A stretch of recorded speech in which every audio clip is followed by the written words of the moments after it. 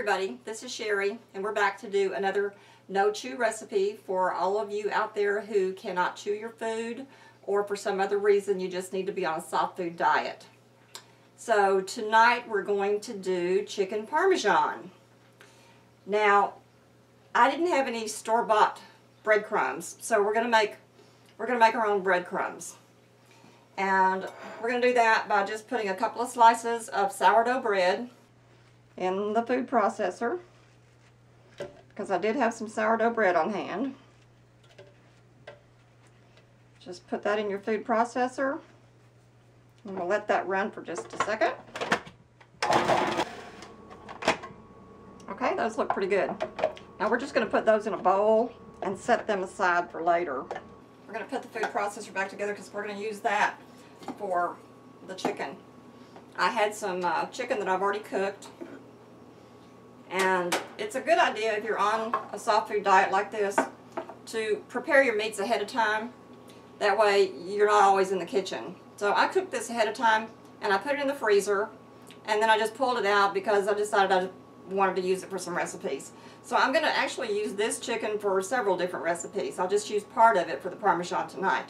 So that's one trick that you can use so that you don't spend all your time in the kitchen cooking for each individual meal.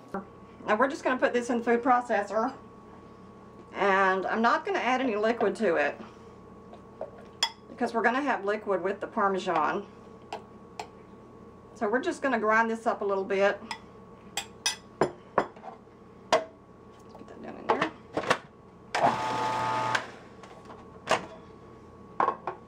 Okay, now we have got we've got our chicken ground up. So we're going to put our chicken in a bowl. Now we've got our breadcrumbs, we've got our chicken, we've got some other ingredients. Now, first of all, we're going to doctor up these breadcrumbs a little bit, just to make them a little bit more tasty, because you know how it is when you're on a soft food diet, you need things to be tasty. We're going to put about a tablespoon, maybe two tablespoons of olive oil on the breadcrumbs, and we're just going to mix that up. And we're going to add a little bit of leaf oregano. Just a little bit to taste. A little bit of basil. And then I've got some fresh chopped parsley as well. So let's dump that in there. Just mix all that up. So we have seasoned breadcrumbs. We're going to put our chicken in the bottom of a small baking dish. If you're on a soft food diet, you're probably the only one in your household on this diet, so you may want to make small portions. So we'll just spread the chicken on the bottom of a baking dish. And then the next thing we're going to do is put some marinara sauce on top of that. You can use any kind of marinara you want. Um, Prego, Ragu, you can even make your own. So put about two or three tablespoons of marinara. Now we're going to do Parmesan cheese. Just a little, we're not going to do a lot. Cheese can have a tendency to get chewy and hard on you, so we're just going to do a little bit of that and then a little bit of mozzarella.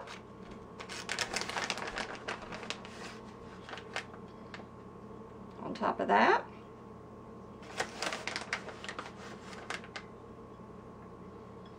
Here we go.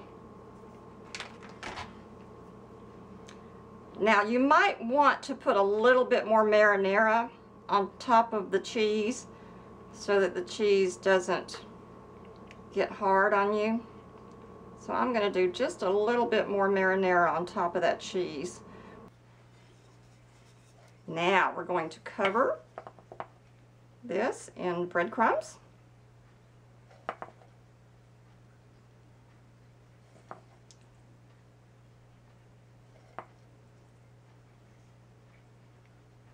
There we go.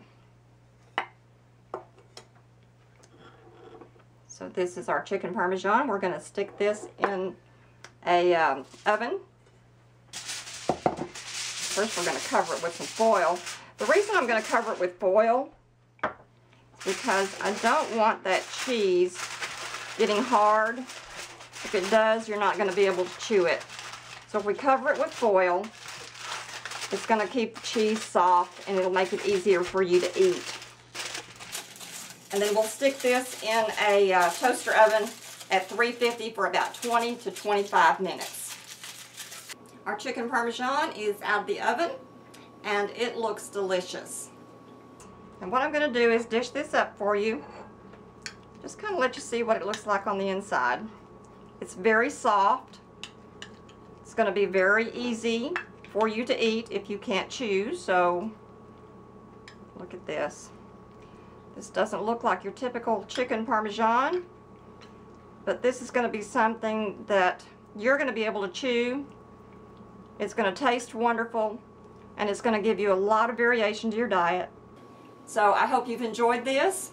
We will be doing some more, so be sure and subscribe to the channel and come back and join us again. Thank you very much. Bye-bye.